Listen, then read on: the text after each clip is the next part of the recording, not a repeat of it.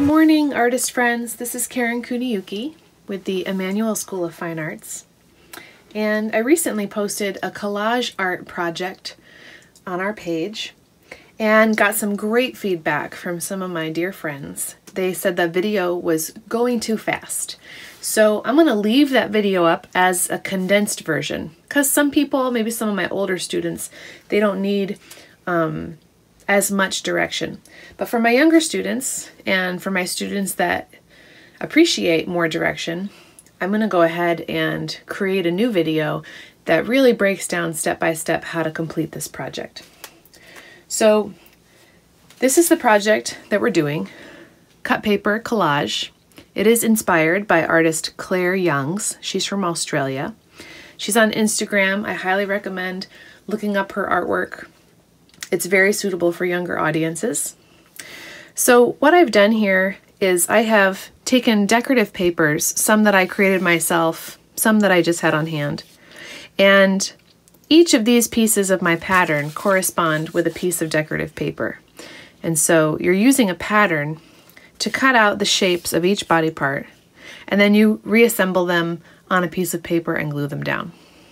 So let's break this down step by step. The very first thing you need is to create some decorative paper.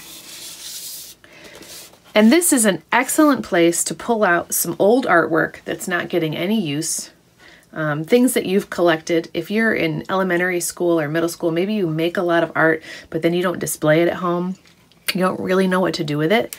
This is a great place to reinvent all that stuff that you brought home. So I had some papers that some of my students had um, experimented with. They were just painting on them and nobody put their names on the back, so I couldn't send it home to them. So I just brought these papers home and I started to doodle on them. I just took a Sharpie. Um, I was using Sharpie because I'm drawing on top of acrylic paint and Sharpie does that best.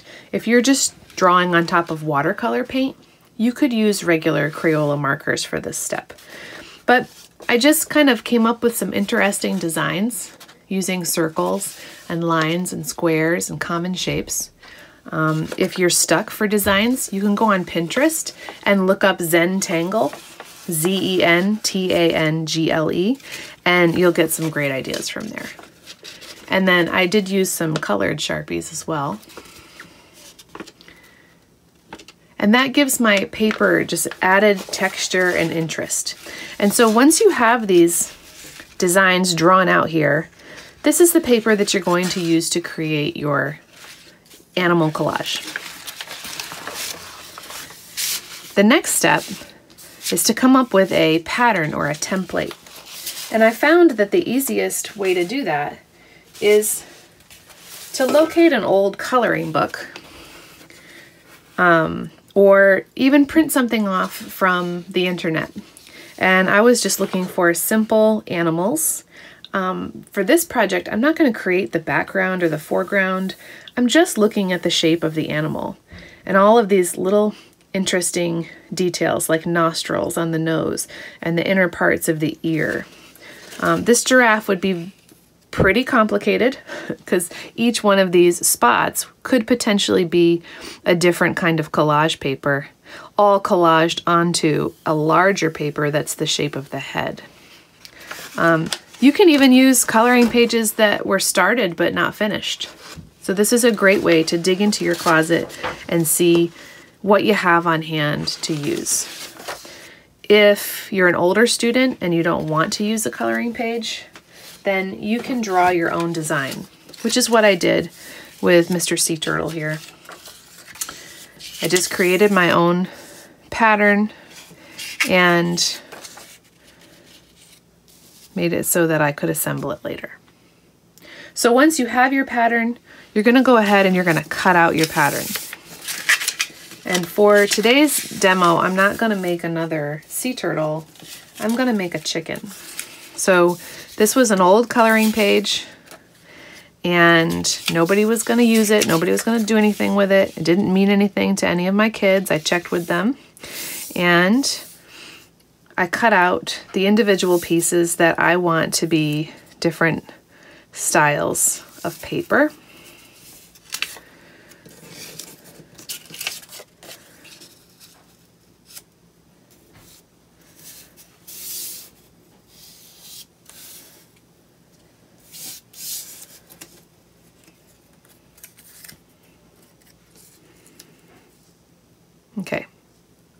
There's my chicken.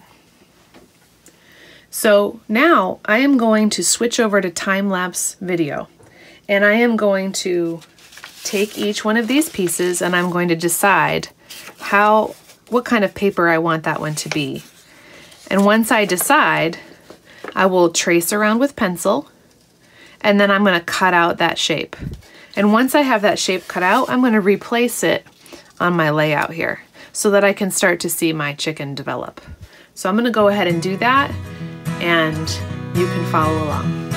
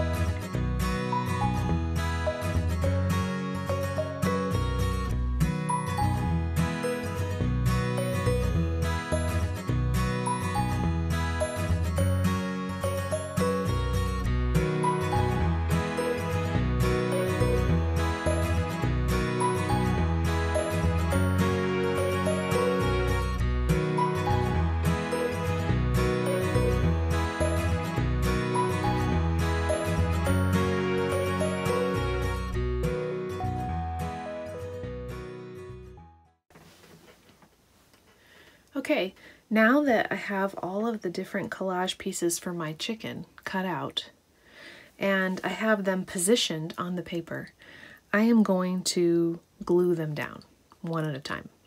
And I'm going to start with um, this headpiece and position it the way I want to, and then I'll put everything else based on the position of the head. So I'm going to switch again to time lapse so that you can watch me glue everything down.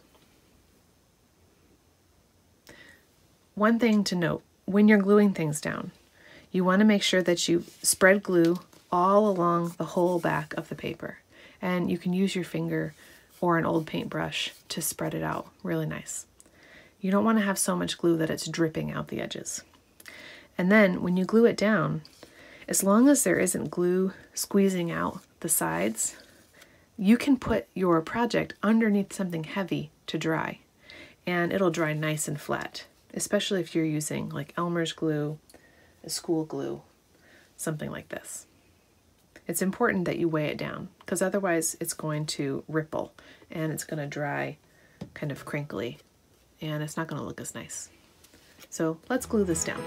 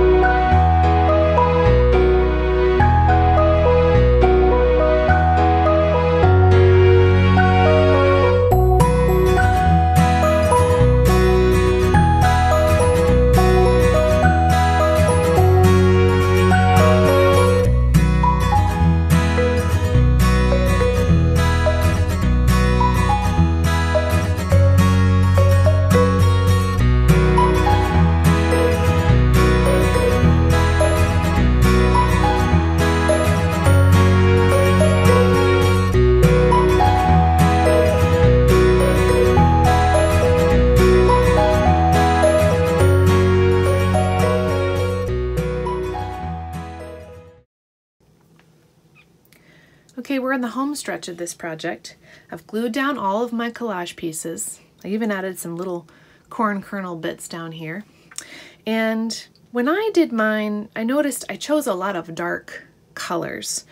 Um, and when I did that, it made it hard to see um, like some of the feather marks. And so what I decided I might do is I have this white uh, paint pen and I'm going to go back into my collage and I'm going to add just a couple of streaks where these details are from the coloring book to just help bring out those different feather shapes. Now, say you had used some light colored papers to create your animal. You could always go back in with a darker marker or a Sharpie. You could use metallic markers if you had them. You could probably use a whiteout pen if you had that. Um, so look around your house and see what you have to play with after you have created the basic artwork.